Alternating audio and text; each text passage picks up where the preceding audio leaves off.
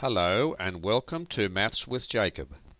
This short video will focus on the relevance of modular arithmetic. Some of us have been using modular arithmetic for years without even knowing it. The 12-hour clock face is a perfect example. Also, it has very important uses in cryptography especially when setting up SSL, that is Secure Sockets Layer connections to encrypt, monitor and protect web traffic.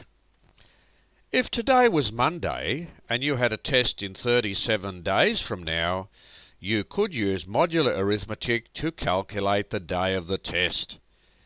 It is very useful for dealing with problems involving remainders. The degrees on a number plane are 360 degrees, so measuring restarts after one full revolution.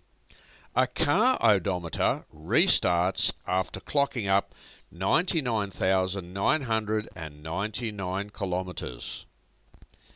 There are many more examples where modular arithmetic is used in real life. If you want to see the video on this topic, please click here. To subscribe, please click here.